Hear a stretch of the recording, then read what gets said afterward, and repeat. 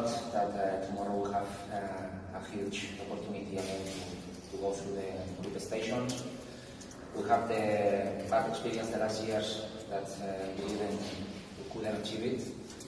And I think the team, the team, all the players, and the staff, are ready because uh, we have done amazing work uh, so far. And uh, we have a high expectation. We have a lot of illusion from the game of tomorrow, the, the chance that we have uh, from, to achieve the, the qualification.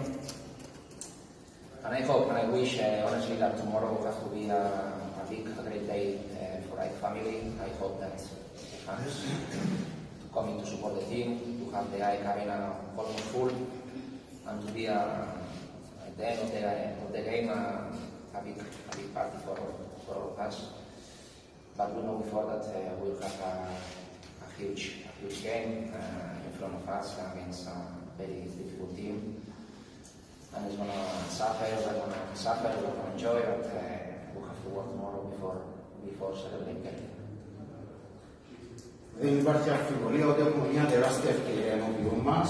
Ε, σίγουρα τα δύο τελευταία χρόνια, τα δύο προηγούμενα χρόνια που φτάσαμε σε είχαμε μια κακή εμπειρία που δεν τα καταφέραμε, αλλά από την άλλη, όλοι στην ομάδα και οι υποσχεστές ε, είμαστε έτοιμοι ε, για να δείξουμε την δουλειά που έγινε. Υπάρχει προσδοκία, υπάρχει όραμα, φιλοδοξία ε, για αυτό το παιχνίδι.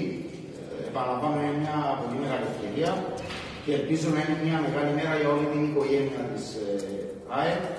Σίγουρα ελπίζω να γεμίσει το ΑΕΠ Αρένα, να έχουμε τον κόσμο στο πλευρό μας και στο τέλος να, να μπορέσουμε να το εορτάσουμε μαζί με τον, με τον κόσμο. Είναι ένα τεράστιο παιχνίδι. Ξέρουμε σαφέστατα ότι αντιμετωπίζουμε μια πολύ δύσκολη ομάδα ε, και περιμένουμε να υποφέρουμε κατά τη διάρκεια του, του παιχνιδιού. Όπως είναι